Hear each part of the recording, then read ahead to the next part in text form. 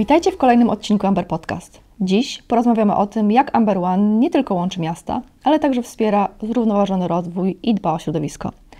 Dowiemy się także, jakie proekologiczne działania podejmuje autostrada oraz jak wspiera lokalne inicjatywy społeczne. Naszym gościem będzie Dorota Martyńska, menadżerka do spraw zrównoważonego rozwoju, która opowie o tym, jak autostrada A1 wdraża nowoczesne rozwiązania na rzecz ochrony przyrody i jak wspiera społeczności lokalne. Zapraszamy do rozmowy o ekologii na drodze. Witam Cię serdecznie. Witam serdecznie. Ekologia to nie jest pierwsze skojarzenie, jakie nasuwa się, gdy myślimy o autostradzie. Amber One Autostrada A1 podejmuje inicjatywy ekologiczne, których celem jest przeciwdziałanie zmianom klimatu. Jakie są to inicjatywy? Podejmujemy szereg działań w dużej i mniejszej skali e, i są to działania kierowane na ochronę klimatu, ale w szerszym kontekście na ochronę po prostu środowiska i różnych elementów środowiska, na które my poprzez e, działalność na projekcie A1, Autostrada A1 mamy wpływ. I z takich e, przykładowych działań kluczowych, które podejmujemy, są to na przykład instalacja oświetlenia LEDowego, czyli wymiana oświetlenia standardowego na oświetlenie LEDowe. Również y, instalujemy panele fotowoltaiczne na projekcie, które wytwarzają, jak wiadomo, energię z, ze słońca. Y, staramy się redukować y, emisję dwutlenku węgla z ruchu samochodowego poprzez nasadzenie zieleni, utrzymanie zieleni, ale również sadzenie łąk kwietnych, które pochłaniają dwutlenek węgla z autostrady dbamy o bioróżnorodność na autostradzie. To może nie, nie do końca kojarzy się nam z klimatem, ale zdecydowanie z ochroną środowiska staramy się, aby y, wszystkie zwierzęta, jak również gatunki roślin, które są rodzime lub też lokalne w kontekście zwierząt y, w przestrzeni autostrady A1 dobrze się tam czuły y, i żeby ich liczba, czyli liczba gatunków nie spadała. Chcemy, żeby Y, droga nie stanowiła bariery dla zwierząt. Z innych działań, które podejmujemy, prowadzimy działania edukacyjne y, wśród dzieci, wśród dorosłych, wśród kierowców, wśród wielu grup y, ludzi, użytkowników autostrady również. Działania, które mają uświadamiać, że dbamy o środowisko i że oni, kierowcy, również mogą o to środowisko dbać, podejmując pewne działania, które my jako, jako projekt, jako Autostrada 1 im proponujemy. Autostrada to przede wszystkim ruch pojazdów, które się po poruszają, który nie ukrywajmy wiąże się z hałasem oraz emisją spalin. Jakie działania są podejmowane na autostradzie, aby zredukować hałas pochodzący z pojazdów? Hałas jest na pewno bardzo istotnym czynnikiem, no niestety negatywnym, który występuje mm, na autostradzie. Niestety nie za dużo możemy zrobić odnośnie hałasu, bezpośredniego źródła hałasu, czyli samochodów, które po autostradzie się przemieszczają, ponieważ one generują pewien poziom hałasu, na który nie mamy wpływu. My, jako zarządca Autostrada 1, mamy wpływ na to, co się dzieje z tą emisją tego hałasu, czyli jak on się rozprzestrzenia i gdzie on się rozprzestrzenia. I o to dbamy najbardziej, czyli oddzielamy, mówiąc tak już bardzo ilustracyjnie, oddzielamy źródła hałasu od odbiorców hałasu, którymi są mieszkańcy y, zamieszkujący budynki wzdłuż autostrada 1. A jak to robimy? Przede wszystkim stawiamy ekrany akustyczne, zabezpieczenia akustyczne, wały ochronne, które oddzielają to źródło hałasu od, od ludzi, którzy zamieszkują wzdłuż autostrady. Te ekrany akustyczne y, występują w bardzo wielu miejscach na autostradzie A1.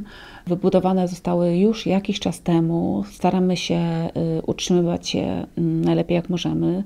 One są przeglądane, monitorowane, utrzymywane. Y, więc mamy pewność, że one działają i, i mm, pochłaniają ten hałas, który dobiega od autostrady A1. Jeśli wymagana jest modernizacja ekranu, wykonujemy ją. Jeśli konieczność jest wybudowania nowego ekranu w nowym miejscu, gdzie mamy przekroczenie hałasu i trzeba podjąć działania, również to wykonujemy. Monitoring hałasu, czyli badania, pomiary hałasu również odbywają się bardzo często na naszej autostradzie. Właściwie co sezon mierniki pomiaru hałasu można zauważyć na autostradzie, także monitorujemy i dbamy o to, żeby hałas był pod kontrolą, to znaczy, żeby nie e, zakłócał życia mieszkańców e, wzdłuż autostrady A1. Autostrada przebiega przez tereny, na których naturalnie występują różne zwierzęta, przede wszystkim zwierzęta dzika. Czy podejmowane są jakieś środki, aby zapewnić bezpieczeństwo zwierząt, które migrują wokół autostrady? Tak, jak najbardziej zwierzyna czy też zwierzęta to jest bardzo, bardzo y, ciekawy i interesujący nas element tutaj środowiskowy.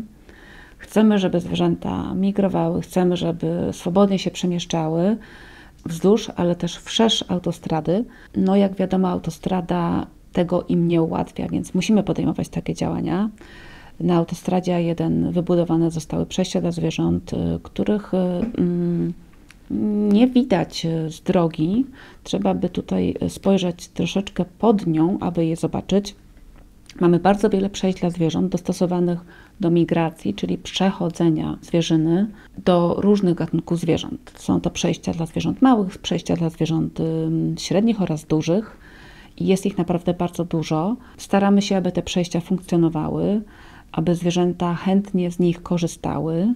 Y, monitorujemy je, przeglądamy, naprawiamy, jeśli wymagają naprawy. Jeśli zwierzęta nie są zbyt chętne, aby korzystać z innego przejścia, zastanawiamy się, dlaczego tak się dzieje. Często jest to kwestia na przykład tego, że brakuje odpowiedniej roślinności, która by zachęcała zwierzynę, żeby podejmowała taką wędrówkę. Więc temu też się przyglądamy, dosadzamy roślinność, która jest przyciągająca zwierzęta, która sprawia, że czują się dobrze i komfortowo, żeby skorzystać z takiego przejścia, ponieważ są gatunki zwierząt, które bardzo niechętnie korzystają z przejść dla zwierząt, ponieważ niechętnie lubią wędrować y, poprzez tak zwane tunele, a przejścia dla zwierząt często właśnie mają kształt tuneli, więc staramy się mm, pozyskiwać informacje, jakie gatunki zwierząt, jakie y, typy przejść preferują. Co zrobić, aby ułatwić im taką wędrówkę. Jeszcze kwestią taką bardzo istotną jest to, że y, dużo zwierzyny, szczególnie zwierzyny młodej, niedoświadczonej, podejmuje próby sforsowania ogrodzenia autostradowego, y, żeby najkrótszą możliwą drogą przedostać się na drugą stronę autostrady. To jest bardzo tragiczne zawsze zdarzenie, ponieważ może prowadzić do zderzenia z pojazdami. I tutaj też podejmujemy działania, aby do takich sytuacji nie dochodziło. Y, jednym z tych głównych działań jest to, że podwyższamy ogrodzenia autostradowe ponad tą wymaganą y, prawem wysokość. Nasze ogrodzenie autostradowe ma już teraz wysokość 2 metrów 40 centymetrów i w tej chwili zasadniczo jest nie do pokonania przez ani jelenie, ani łosie. Zdarza się to bardzo rzadko, żeby, żeby jakaś zwierzyna podjęła w ogóle próbę przeskoczenia takiej wysokości. Ta duża wysokość ogrodzenia autostradowego skutecznie ogranicza wtargnięcia zwierzyny na drogę, co, co oczywiście chroni zwierzynę, ale tutaj nie zapominajmy, że chroni również ludzi, którzy podróżują tą autostradą, więc tutaj działamy dla bezpieczeństwa zwierząt, ale przede wszystkim dla bezpieczeństwa ludzi, którzy którzy podróżują autostradą. Również działaniem na mniejszą skalę, można by powiedzieć, które podejmujemy w ramach ochrony zwierzyny, jest na przykład sadzenie łąk kwietnych. Tam również e, schronienie mają zwierzęta, o których e, często zapominamy, czyli owady lub też małe ssaki. Takie łąki kwietne, które są dzikimi terenami, na których rosną coś, co nazwalibyśmy dzikimi roślinami. Tam, tam żyje wiele zwierząt i wiele, wiele owadów. I y, to działanie również poprawia i wpływa na bezpieczeństwo tej, tej lokalnej mikrofauny, która jest wokół autostrady. Kwietne łąki, o których wspomniałaś, y, oprócz tego, że wizualnie bardzo pięknie wyglądają, spełniają także inną funkcję funkcję pochłaniania dwutlenku węgla. Jak już wcześniej y, wspominałyśmy, autostrada wiąże się z dość dużym ruchem pojazdów, który generuje całkiem sporą emisję spalin. Y, jakie działania oprócz sadzenia y, łąk kwietnych y, podejmuje autostrada, aby tą emisję zredukować? I jeśli mogłabyś jeszcze uzupełnić odpowiedź odnośnie łąk kwietnych i ich funkcji związanej z redukcją emisji? Y, łąki kwietne na autostradzie 1 to jest taki pomysł, powiedzmy, testowy. Przyglądamy się bardzo y, temu, jak te łąki funkcjonują, jak działają. Na pewno y, fakt taki, że łąka kwietna pochłania dużą ilość dwutlenku węgla, jest bezsprzeczny. Nie przeprowadziliśmy jeszcze na chwilę tak, takich szczegółowych badań odnośnie tego, ile konkretnie na naszych łąkach pochłanianych jest dwutlenku węgla. Są to dane, powiedzmy, że przybliżone i statystyczne, ale tutaj nie będę ich dokładnie podawać. Łąka sama w sobie pochłania dwutlenek węgla y, z rośliny, która znajduje się ponad powierzchnią Ziemi, ale przede wszystkim pochłania dwutlenek węgla w tą część korzeniową, tam go magazynuje, więc y, pełni bardzo dużą funkcję ekologiczną i chcielibyśmy, aby mm, było więcej y, takich miejsc, gdzie łąka występuje na autostradzie A1. Taki jest nasz cel, żeby ten projekt rozbudowywać żeby więcej było tych terenów, żeby więcej tam było y, życia również związanego z tym, jakie zwierzęta, owady y, występują w tych łąkach.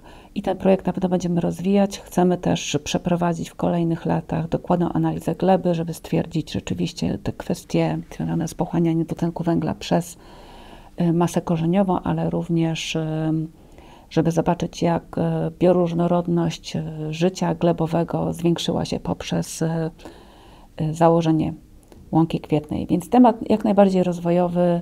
Y, to piękno łąki zewnętrzne to tylko jego drobna część, ale to, to piękno związane z tą funkcją ekologiczną, czyli wiązanie dwutlenku węgla, jak również produkcja tlenu, bo łąka również produkuje tlen, to jest ta, ta podstawowa funkcja i to jak najbardziej chcemy rozwijać.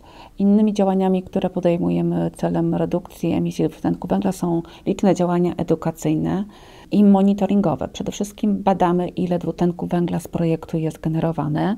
Już y, dobre 3 lata temu wyliczyliśmy ślad węglowy, czyli tony emisji dwutlenku węgla produkowane na autostradzie A1, więc y, wiemy, które działania i jakie działania i jakie procesy, które podejmowane są na autostradzie, y, ile z nich jest wyprodukowane dwutlenku węgla, czyli tego niepożądanego elementu w klimacie autostradowym, tak to nazwijmy. No i y, wniosek jest bardzo prosty z tych obliczeń. Wiemy, że jednak większość, ponad 98% y, emisji dwutlenku węgla pochodzi z pojazdów poruszających się po autostradzie, czyli po prostu samochody, które przejeżdżają autostradą, generują ten dwutlenek węgla.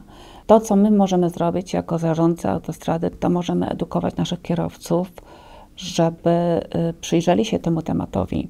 Wiemy na dzień dzisiejszy, że każde zdjęcie nogi z gazu, czyli y, zredukowanie prędkości y, pojazdu o 10 km na godzinę, redukuje emisję dwutlenku węgla i to jest aż 8% redukcji emisji dwutlenku węgla z przejazdu danym pojazdem.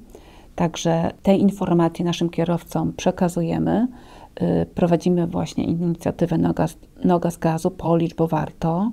Y, kierowcy mogą zapoznać się z takim kalkulatorem, przelicznikiem po wejściu na naszą aplikację Amber One, gdzie mogą zauważyć, że, że każde, każda redukcja właśnie prędkości wpływa na mniejszą emisję dwutlenku węgla, jak również jest to oszczędność w kieszeniach, ponieważ y, nie jest to nowością, że redukcja prędkości powoduje mniejsze spalanie paliwa i y, mniejsze wydatki na y, zatankowanie kolejne paliwa, więc y, uświadamiamy naszych kierowców, mówimy o tym w dostępnych nam źródłach i chcielibyśmy no tutaj doświadczyć tej redukcji emisji, ale te działania, czyli to, czy ta emisja będzie zredukowana przez naszych kierowców już pozostaje poza naszą kontrolą.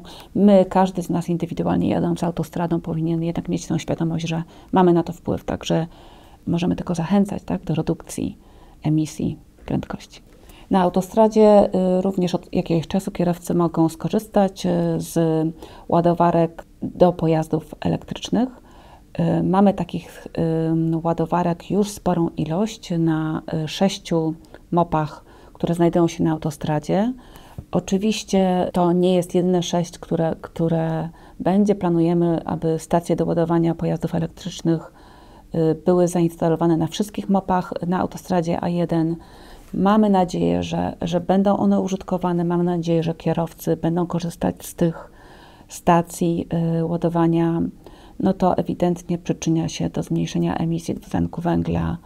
Czysty przejazd bez emisji dwutlenku węgla, no tutaj też jest naszym priorytetem, ale nie mamy też oczywiście większego wpływu na to, jakimi pojazdami nasi kierowcy jeżdżą Jednakże stacje będą i miejmy nadzieję, że będą użytkowane. Dziękuję bardzo za tą odpowiedź. Nie pozostaje mi nic innego, jak sama zawsze stosować e, zasadę e, nogi z gazu i zachęcić Państwa do stosowania jej również podczas e, podróży. Wspomniałaś o programie edukacyjnym dla dorosłych Noga z gazu, naszej kampanii mającej na celu redukcję prędkości celem redukcji emisji spalin. Czy są jeszcze jakieś działania edukacyjne, które prowadzicie jako autostrada? Staramy się przekazać młodym użytkownikom, młodym przyszłym użytkownikom autostrady A1, czyli dzieciom. Działania edukacyjne wśród dzieci, wśród szkół e, znajdujących się w pobliżu autostrady A1 prowadzimy już od, e, od wielu lat. Są to działania polegające na takich warsztatach, ekologicznych warsztatach e, przyrodniczych, których edukujemy i, przekazujemy informacje na temat tego, czym są przejścia dla zwierząt czym jest bioróżnorodność, jaka zwierzyna w ogóle występuje wzdłuż autostrady A1 i co my y, jako autostrada, ale, ale również co zwykły człowiek może zrobić, y, aby pomóc zwierzętom żyć bezpiecznie, migrować bezpiecznie i korzystać y, z przyrody. Zajęcia edukacyjne dla dzieci w szkołach to nie wszystko. Dla lokalnych społeczności Amber One Autostrada A1 prowadzi przynajmniej dwa programy. Czy mogłabyś pokrótce opisać, jakie to są programy, czego dotyczą i dlaczego je realizujemy?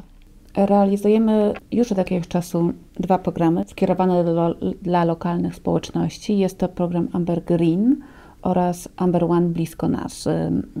Ten pierwszy bardziej y, polega na tym, żeby angażować lokalne społeczności w realizację działań związanych z ochroną klimatu, działań środowiskowych, y, ukierunkowanych na dosadzanie roślinności na terenach, na których ten program jest realizowany. W programie mogą uczestniczyć gminy, które znajdują się, czy też miejscowości gminy, wsie, yy, które znajdują się w niedalekiej odległości od autostrady A1 i yy, w ramach określonego budżetu mogą one zaproponować działania związane z nasadzeniami roślinności właśnie na, na wybranych terenach w obrębie swoich miejscowości. I tutaj preferujemy takie działania, które będą polegały na nasadzeniu, nasadzeniach roślinności drzew liściastych, y, ponieważ y, wiemy, że drzewa liściaste pochłaniają dużo dwutlenku węgla, ale również y, preferujemy i, i chętnie przyglądamy się takim projektom, które zakładają zakładanie łąk kwietnych, ponieważ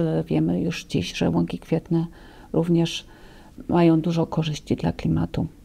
Łąka y, oraz jej zdolność do utrzymywania wilgotności bardzo dobrze wpływa na taki mikroklimat znajdujący się w obrębie realizacji danego e, projektu, czyli danej łąki. Także to jest też kolejny czynnik, który, który bierzemy pod uwagę podczas wyboru e, projektu, który będzie realizowany. Czyli te łąki są rzeczywiście takim super projektem, który chcemy nagradzać i chcemy e, wspomagać realizacji. Kolejnym programem, który prowadzimy, to jest, e, tak jak wspomniałam, Amber One blisko nas. Jest to projekt, który ma wspierać e, rozwojowi lokalnych społeczności. W ramach tego projektu e, osoby zaangażowane i proponujące działania same wybierają, na co chcą przeznaczyć pieniądze, które są przeznaczane przez nas na ich potrzeby. I tutaj wspieramy wszelkie inicjatywy, które mają podnieść jakość życia danej społeczności czyli na przykład może to być wybudowanie placu zabaw, może to być y, uprzątnięcie terenu jakiegoś, który ma służyć y, na przykład lokalnym spotkaniom społeczności, może to być wybudowanie wiaty jakiejś takiej dla, dla spotkań lokalnej społeczności lub też działania takie proekologiczne nasadzenia drzew, czy założenie jakiegoś pięknego skweru, lub też na przykład projekt, który będzie realizowany w tym roku, czyli założenie platform dla błociana białego y, pod przyszłe gniazda. Więc y, takie działania nie tylko mogą podnieść jakość życia danej społeczności, mogą ją zintegrować, ale mogą również sprzyjać y, przyrodzie, mogą sprzyjać środowisku, klimatowi, więc łączą sobie wiele funkcji. Do tej pory już zrealizowaliśmy 35 e, inicjatyw, a w tym roku jest to już siódma edycja tego programu, więc bardzo się cieszymy, że on trwa. i że tak wiele jest e, zainteresowanych gmin, które chcą uczestniczyć w tym projekcie. Z tego co mówisz, na One Autostradzie 1 prowadzone jest szereg działań, które mają na celu redukcję negatywnego wpływu y, autostrada, przede wszystkim ruchu, jaki po niej się porusza na środowisko. Czy są jeszcze jakieś działania, które staracie się wdrożyć, aby ten negatywny wpływ, jaki może być powodowany przez autostradę, przez jej ruch, czy nawet prowadzone teraz remonty, ten zredukować? Zgadza się, że na autostradzie teraz prowadzimy dosyć intensywne działania remontowe. W ramach tych remontów pozyskiwane są materiały, które możemy ponownie wykorzystywać. Takim przykładem jest destruk asfaltowy, który obecnie pozyskujemy po zdjęciu warstw asfaltu. Taki destruk gromadzimy i on jest y, ponownie wykorzystywany na drogach o, o mniejszym standardzie, y, głównie w drogach zlokalizowanych wzdłuż autostrady, więc y, no, nie wyrzucamy materiału, który, który może być ponownie użyty i staramy się zawsze, jeśli jest to możliwe, ponownie wykorzystać materiał, który może być właśnie ponownie wykorzystany. I to nie dotyczy tylko destruktu. Jeśli są jakieś elementy które mogą być wykorzystane w procesie remontowym w nowym y, wymiarze lub też y, przez kogoś innego, to jest to zawsze monitorowane, wykorzystywane. Chcemy realizować politykę gospodarki cyrkularnej, czyli ponownego wykorzystywania materiałów, bo, bo, bo na tym polega właśnie zasada zrównoważonego rozwoju. Jeśli chodzi o jeszcze inne elementy prowadzonego remontu, no, no tutaj Zdecydowanie y, staramy się y, zachować wszelkie wymogi związane z gospodarką odpadami. Przyglądamy się, gdzie odpady trafiają, jak są magazynowane, jak są zarządzane. Y, prowadzimy stały nadzór nad naszymi wykonawcami, którzy zaangażowani są w remont autostrady, więc te kwestie, również kwestie nadzoru nad, nad odpadami, i nad prowadzonymi pracami pod, pod kątem właśnie takich, takich elementów środowiskowych, które niekoniecznie łączą się z remontem i kojarzą się z remontem. Taki monitoring jest prowadzony i upewniamy się, że, że tutaj żadne przepisy środowiskowe nie są łamane. To już wszystkie pytania, jakie przygotowałam związane z ekologią i zrównoważonym rozwojem autostrady. Bardzo dziękuję za dzisiejszą rozmowę z mnóstwem cennych uwag, wskazówek dotyczących um, zrównoważonej autostrady i zrównoważonej jazdy. Moim Państwa gościem, ekspertem w kwestiach zrównoważonej autostrady była Dorota Martyńska, menadżerka do spraw zrównoważonego rozwoju na Amber One Autostradzie 1. Mam nadzieję, że dzięki tej rozmowie przekonali się Państwo, że to, czy autostrada będzie ekologiczna, w dużej mierze zależy od nas i naszego stylu jazdy. Noga z gazu i do usłyszenia w kolejnym odcinku Amber Podcast.